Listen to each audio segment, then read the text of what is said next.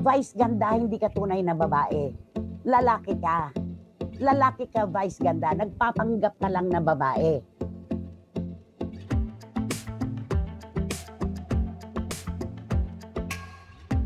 Tila tinamaan at inako ni Christy Permin ang naturang biro ni Vice Ganda kahapon sa isang contestant sa It's Showtime.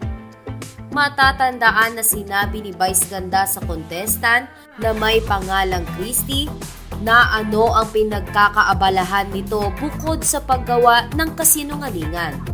At dahil dito ay hinamon ni Christy si Vice Ganda sa kanyang programa na Christy Per Minute. Ayon kay Christy Permin, hindi naman kami ipinanganak kahapon para hindi namin maturol na ako talaga ang pinatatamaan ni Vice Ganda. Ang hindi lang maganda, puro patagilid ang kanyang bira.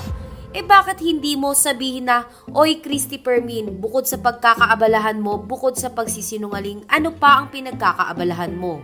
Eh ako diretso ko nasasabi sa kanya na mayabang siya. ba? na wala ka man lang makitang pagpapakumbaba sa kanya. Diretso kong nasasabi yon. Bakit hindi niya rin ako diretsuhin? E po pwede naman.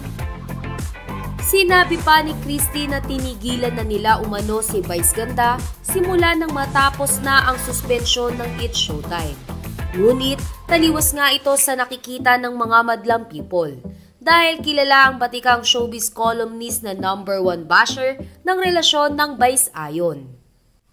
Nilait din ni Christy Permin ang pagiging part ni Vice Ganda sa LGBTQ plus community.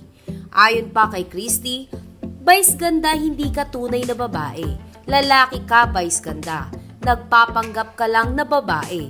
Ngayon, kapag ikaw ay bumabiyahe sa isang mahaba-habang kalye, tinawag ka ng kalikasan, bababa ka sa sasakyan. Hahanap ka ng puno at dun ka jijingle. May mga nagdadaan. Ano ang kolokyal? Na biro ng mga tao na nakakakita ng mga umiihi na nakatayo. Samantala, wala pang tugon si Unkabogable Star Vice Ganda sa mga banat na ito sa kanya ni Christopher Min. Panigurado naman na hindi palalampasin ni Vice Ganda ang pang-iinsulto sa kanya ng batikang showbiz columnist. Hoy, humarap ka! Huwag kang tumalikod! Traidor ka!